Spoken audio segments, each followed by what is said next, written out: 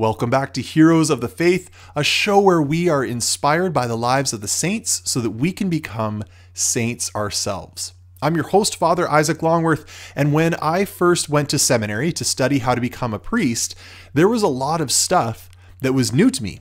I had to learn a whole new way of, of entering into prayer. I had to learn uh, how the classes at seminary worked and how to prioritize my time. I even had to learn how to run ministry events, how to speak at retreats, how to pray with people, all these different kinds of things that I had never really had to do up to that point.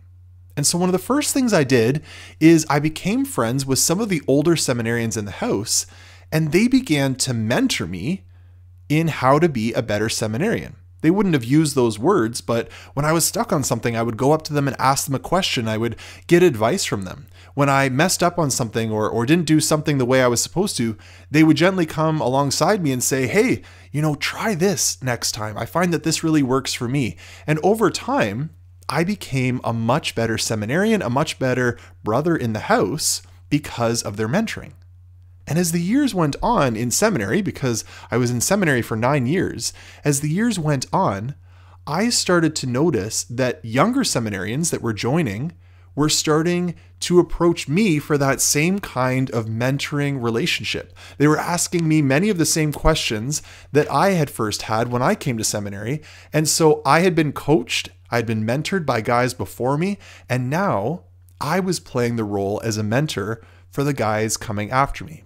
And I think that that is a really good example, a really good uh, a way of showing how the Christian life is supposed to be lived out. That we're supposed to have mentors that lead us closer to God, and we are supposed to act as mentors for people coming after us. And a woman who really exemplifies this is the saint that I'm going to talk to you about today, Saint Syncletica. She did this in her own life.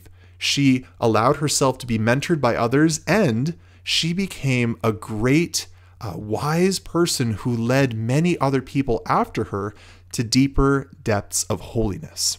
So, Syncletica lived in the fourth century, and her parents were Macedonian, so they came from northern Greece, but they had moved to the city of Alexandria in Egypt because there was a very strong Catholic community there, and they thought to themselves, well, this would be a good place for us to raise our family in the faith. They had four children, so Syncletica had one sister and two brothers, and the whole family was quite wealthy. They did very well for themselves. And so, from the time Syncletica was very little, she was taught how to pray, how to love God. Faith was very important for her family. And it was especially important because her family had to go through two major struggles, and it was their faith in God that kept them rooted through these difficulties. One of these struggles was the fact that Syncletica's sister was blind. And so the family had to take uh, really special care of her because of her disability, especially because in the time that they lived, there was not a lot of aid or accessibility for people who were born blind. And another uh, really major struggle that the family had to go through together was that Syncletica's brother had died when he was very young, leaving only three siblings surviving. And so, because of these difficulties, their family had to learn how to put their trust in God even when things seemed to be going so wrong. And so Syncletica really learned how to pray from her parents, and she loved it. She had a deep love for God. She loved to spend time with Him, and she especially was asking God in these times of prayer what He wanted her to do with the rest of her life. She wondered, what will become of me? What is God calling me to do? She knew that she was expected to live a, normal life, which for a woman at the time meant to get married one day and to start a family. But for some reason, she felt like God had some other plan for her, something special that he was calling her to. Well, Syncletica was about to get the answer to her prayer, uh, primarily because of some family drama that was about to go down in her house. Maybe you think that you have a dramatic family. Wait till you hear what happened in Syncletica's family. Because her older brother, when he was 25 years old, was pressured into getting engaged to this girl by his parents. They wanted him to get married. They thought they found the right woman for him and, and set it up but he didn't actually love her. He didn't actually want to marry her. And so, right before the ceremony, he ran away. He basically abandoned his bride to be at the altar, which wasn't a good move. He probably should have told her earlier, but he didn't want to marry her. And so he ran away and he he said to his parents, "I don't want to marry anyone. I decide that I am going to live my life as a monk. I'm going to devote my whole life to prayer with God." Which threw the whole family into utter chaos. But Syncletica wasn't as shocked by her brother's decision. In fact, she thought to herself, now there's an idea. That's something that I could do. I can go off and imitate my brother and live as a monk. I won't get married to anyone. I will live my life completely devoted to God. And when she told her parents that, they said to her, That's crazy. It's crazy enough that your brother did it when a man does it, but there isn't even a system for women to go off and become monks. This isn't something that is done. No, no, no, no. What you have to do is you just have to stay at home. You'll forget about this crazy idea of yours when we find you the right guy. But Syncletica had her mind made up. Her brother had inspired her, and she wanted to become a monk. But her parents began to panic when she remained resolved in her decision because they wanted grandchildren. Remember, their one son had died, the other one had ran away from his fiancee and become a monk, and their only other daughter was blind. And they knew that no man would want to marry a, a woman who was blind, at least not in that culture. And so Syncletica was their last chance to keep the family line alive. So, what they did is they decided that they would try to distract their daughter from her plans. So, they talked amongst themselves and they said to themselves, okay, our daughter Syncletica, she just needs to pray less and to get out into the world and meet a guy by hanging out with friends her own age. And so they gave Syncletica tons of money and sent her off on shopping trips with her friends to go and buy clothes because they thought that will convince her. But she wasn't distracted like the other girls she was with. She just wasn't interested in that. They sent her off to concerts to go and hear music. But when she came home, all she talked about was going off and becoming a monk and living in silence. And many, many men were interested in, Cycle- in Syncletica. She was very beautiful. She came from a rich family. She was the only heiress of that family.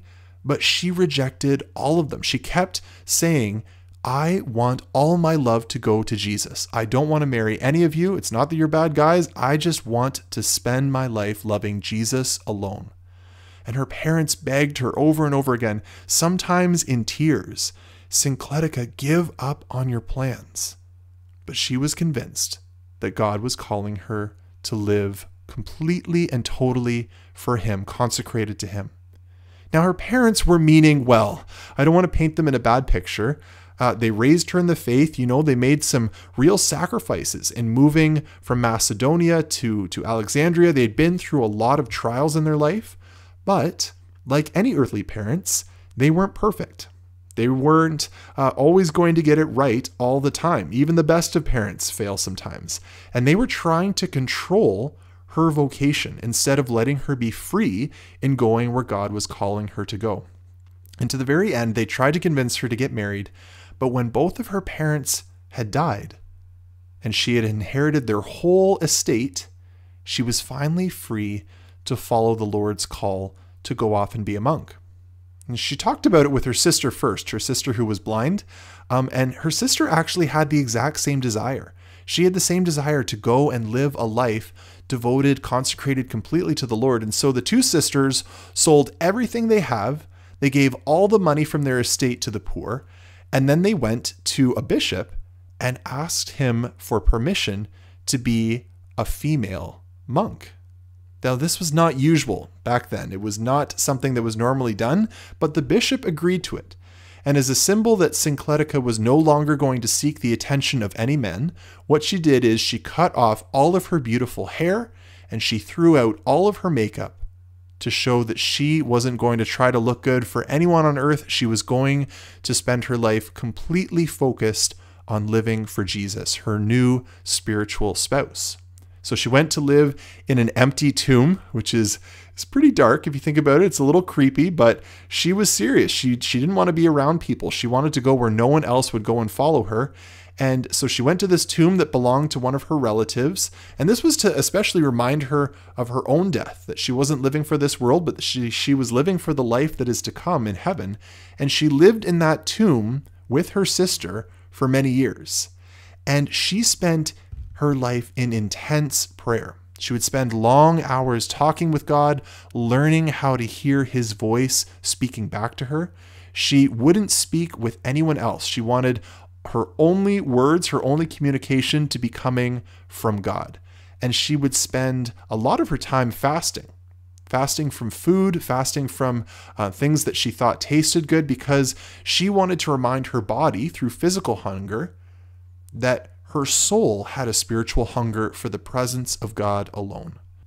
And through all this prayer, through all this fasting, Syncletica really advanced in the spiritual life and became very holy and very wise in the ways of God. So much so that her reputation began to spread, and other women who had heard about this, this holy monk living in the tombs came to her to ask her for spiritual advice and for wisdom. And they asked her, You know, how do I pray when I have such a busy house to take care of? I have children that need to be fed. I have I have a husband. I have relationships with my family that are that are difficult. How do I get close to God when I feel so distant from him because I'm trying to provide for my family? And even though Syncletica deep down wanted to live alone, just her and Jesus, her heart went out to these women and she began to mentor them in how to become saints themselves in their own way of living.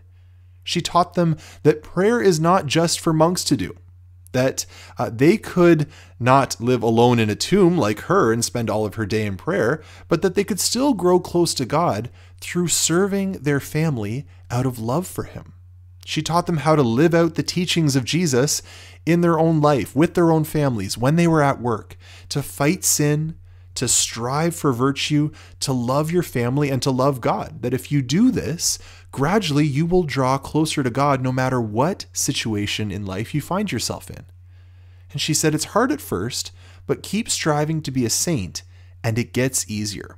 I want to read you uh, an actual quote. There's so many things that Syncletica wrote about how to become a saint and, and her advice on how to grow holy. I want to read you one of her quotes just so that you can hear for yourself the wisdom that she would tell these women who gathered around her to learn how to become holy. She said, In the beginning, there is a real struggle and a lot of work for those who come near to God. But after that, there is indescribable joy. It is just like building a fire. At first, it's smoky and your eyes are watering, but later, you get the desired result. And so, thus, we ought to light the divine fire in ourselves through our tears and with effort. Isn't that beautiful? I love how she uses examples from their everyday lives. Every single woman in that crowd would have known how to light a fire, how to start the daily fire, to, to, to warm the house, and to start cooking food. And she used an analogy of something that all of them were familiar with to help them understand how it is to draw closer to God. I'll share with you one more quote from her. She was teaching them how to be careful of wanting others to see how hard they were working because the older you you get, the more tempted you are to pride that you're so much better than other people and you want other people to notice. And so she said this, just as treasure that is exposed loses its value, so a virtue which is known vanishes. And just as wax melts when it's near fire, so the soul is destroyed by praise and loses all the results of its labor. Again, using very tangible, earthy language that they could understand, that they could resonate with. And she is describing how they are not to be proud of their virtue, but that they should hide it in humility, letting it be a secret treasure between them and God.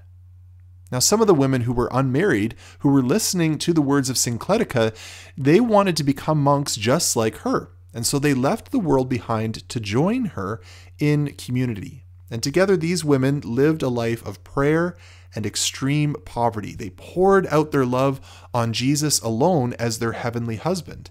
And the name that they gave to Syncletica was Mother.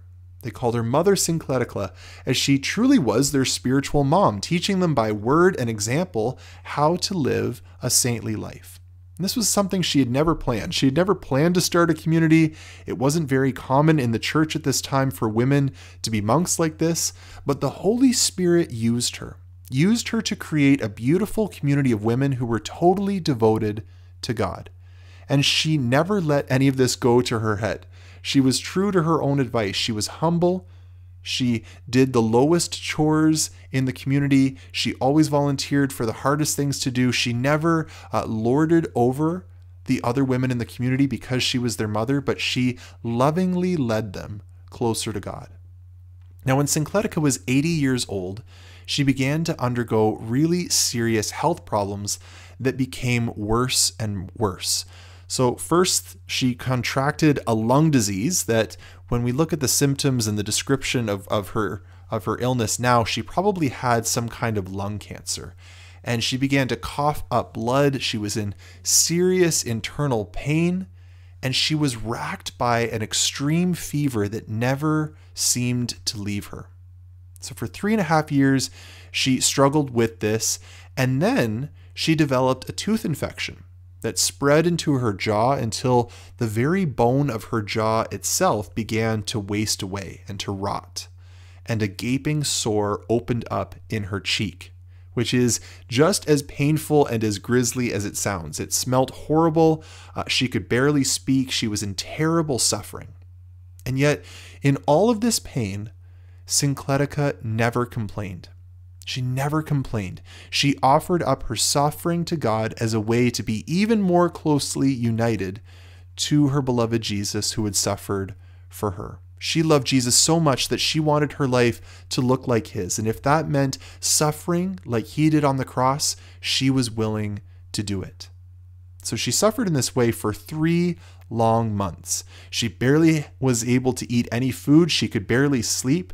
The other sisters who lived with her were horrified by her sufferings, but she just kept praying. She never gave up on Jesus, even in the midst of all of this pain and suffering. And then one day in prayer, Jesus spoke very clearly to her and told her the day and even the exact time that he would come to her and bring her sufferings to an end. And she was so excited. She was so excited to go finally to Jesus, the one who she loved so much. And she told her sisters, Jesus is coming to take me to heaven in three days. She told them the exact time. And true to her word, she died on the exact day and time that she predicted and went into the joy of heaven forever, leaving behind the sufferings that she had endured for so long. Now, Syncletica exemplifies in her life the principle of finding good mentors to help you become a saint. Because when she was growing up and she didn't know what to do with her life, she looked up to her older brother and his desire, his decision to become a monk. And in conversation with him and in, in looking at his life, she imitated him in his holiness, in his love for God, and she imitated him totally in leaving the world behind to go and become a monk, eventually, even starting her own community in giving herself totally to God. She modeled her life in many ways after him, her older brother, who she looked up to. And then, in turn, when she was a monk living in the tombs, she became a model for other women who were immature in their faith, like she had been, and she showed them how to become saints. And they modeled their lives after her, walking in her footsteps in order to draw closer to God. She modeled the Christian life by her words, her words of wisdom, where she taught the women how to be humble, how to pray, how to persevere through trials, how to love people even when they were difficult to love. She she shared all these words of wisdom with them, but then she also backed up her words by modeling with her actions, by her very life, that the way she lived her life showed them how to live a life that is completely devoted to God through her prayer, through her fasting, through her resilience and long suffering in enduring the horrible physical pain of her illness without complaint, she showed them how to offer up their lives as a sacrifice to God. And all three of these aspects of mentoring, spiritual mentorship, are so important. So, first, you need to find a model for yourself. that you can imitate in order to become a saint. The second thing you need to do is show a good example for others through your own actions to mentor them. And then, third, to actually open your mouth to teach and encourage others to pursue God with you. So, first, you need to find a model. Second, you need to model for others through your own deeds.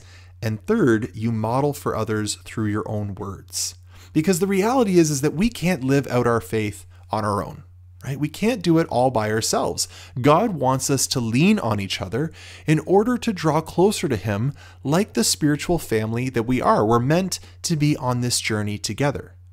And all of us have a chance to enter into this double mentorship principle. So, first, by finding someone who is wiser than you in the spiritual life, who is more experienced in their faith, who maybe knows more about prayer, knows more about the ways of God than you do and so humbly approaching that person and learning from them, imitating them, so as to draw closer to God by following their example. And then, once you've found a person to do that for, you can then mentor other people by making sure that, first of all, your life is being lived in such a way that by your own words, by your own actions, you are modeling for all of those who are looking up to you how to grow in their faith. And so that way, the spiritual life kind of becomes like a train that's all heading towards God. Because when you're following wise and holy people in your life, they are pulling you towards the Lord. And then if you're heading towards the Lord and you're pulling people behind you with you, pulling them behind you to draw closer to God, this whole train of people, all these mentors, are being led and leading others closer to the Lord. Now, as I'm speaking about this, maybe someone has already come to your mind who is a real mentor in the faith for you. Someone who you know is modeling the Christian life for you. Maybe it's a family member, maybe it's a friend, maybe it's a, a pastor or someone else who, who really helps you when you're stuck in your faith to get back on track, who's able to share the wisdom of his or her life on how to draw closer to God. So you've probably have already been inspired by people, their lives have led you closer to Jesus. I can think of mentors in my own life, people like my grandparents who by their deep faith uh, showed me how to draw closer to God. People like my parents who taught me how to pray. Uh, people like older priests who showed me how to live out my vocation. These are all people who have mentored me in my life of faith. But maybe some of you are finding it hard to think of someone who is a mentor in the faith for you. Some of you actually might even be thinking that you don't have too many role models to look up to in your life. Maybe you don't have too many friends or family that are are really living a life dedicated to Jesus. And so if you're thinking to yourself, I'm stuck. I can't do it. I don't have any mentors. Well, first of all, I encourage you to seek out mentors here on earth that can help you draw closer to God. There are people out there that can do this for you. But even if you don't have them right now and you don't even know where to find them, I don't want you to give up because God has given us the saints. God has given us these heavenly mentors, these older brothers and sisters in the Catholic faith that you can model your life after. That you can ask them for help, and they will teach you how to draw closer to God every single day. Maybe as I, I speak about the life of Saint Syncletica, maybe I've introduced you to her for a reason. Maybe she is going to be a spiritual mentor for you going forward from this day on. Maybe that's the reason why you're listening into this right now. But for all of us, no matter what state of our life we're in, no matter where we are in our walk with Jesus, all of us can act as mentors for other people. Not as a prideful thing where you're thinking to yourself, I'm more advanced than anyone else. I'm going to be a spiritual mentor. Uh, if you're thinking that way, you probably shouldn't mentor anyone. But it's rather uh, a desire that we have to have others grow in their relationship with Jesus and knowing that what we say and how we act around them can help them do that. There are people in my life that I mentor, that in my own small way, I'm helping them deepen their faith in God. And I love it. I love seeing them grow closer to the Lord. I love seeing them come alive in their faith. I love seeing them learn about the ways of God and, and enter into deeper holiness. I love sharing what I've learned from my own mentors that has really helped me and passing it on to them. And this is this is a gift from God. This is what God has given us in the church the gift of other believers, the gift of brothers and sisters who can help us grow by mentoring us in our faith. And then we in turn can pass on that gift of faith by mentoring others, all for the purpose of drawing as many people to God as possible. Saint Syncletica understood this. That's why she gained inspiration from her older brother and imitated him in leaving the world to focus solely on God. That's why she gathered a group of women about her, teaching them about God through her words, showing them how to become a saint through her own humility, through her own prayerfulness, and her sacrificial endurance of deep pain. She knew what it was to be mentored in the faith and to mentor others. So let's pray right now that we would imitate her example and become saints just like she was. In the name of the Father, and of the Son, and of the Holy Spirit, Amen.